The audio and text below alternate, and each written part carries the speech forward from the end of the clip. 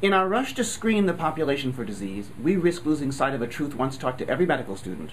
First, do no harm.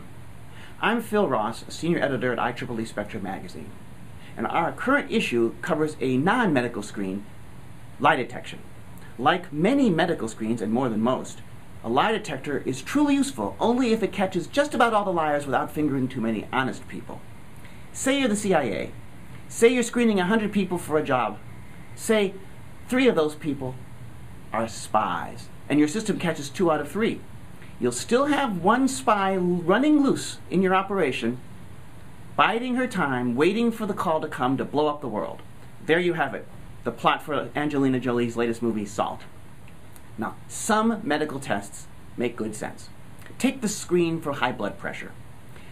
It ends up costing some people a little bit of money and it ends up putting some people into therapy that they would probably not have needed because a lot of people with high blood pressure never develop, develop a disease that stems from that high blood pressure. But the side effects of the treatment are so small and the benefits are so clear, it makes good sense to get yourself screened. Some screening tests, however, can panic people into getting treatments with truly horrendous side effects. Take the screen for prostate cancer. I'm 54 years old. For men my age, there's a, between a 1 in 4 and a 1 in 3 chance of having biopsy detectable prostate cancer. It so happens that the vast majority of men with such cancer will never suffer from it, never even know they had it. But if they go in to be tested for it, they can easily get onto the medical treadmill that leads them to prostatectomy, which means, in many cases, impotence, incontinence, bowel problems, and other complications.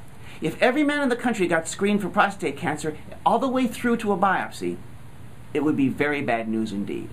We have gone from being healthy until proven sick to the very reverse. And this is a bad thing. For the call